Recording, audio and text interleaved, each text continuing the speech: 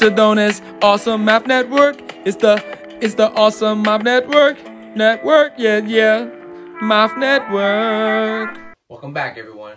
Today, we'll be talking about identifying the circumference of a circle. Here we have a circle with a given radius of 6 feet.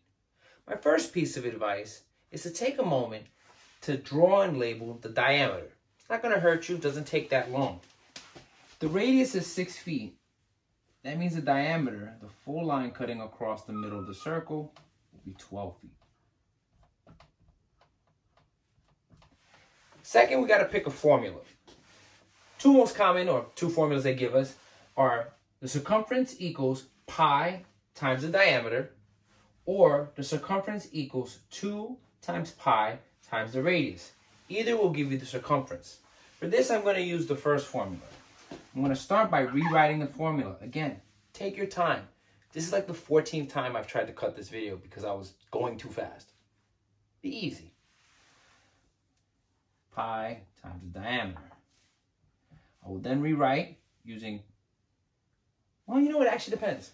Sometimes they might ask you to leave it in the form of pi. If they ask you to do that, then the diameter will be, I'm sorry, the circumference will be 12 feet pi. They may ask you to use 3.14, which is the estimate of pi. And in that instance, again, I would rewrite circumference equals 3.14 multiplied by the diameter of 12 feet.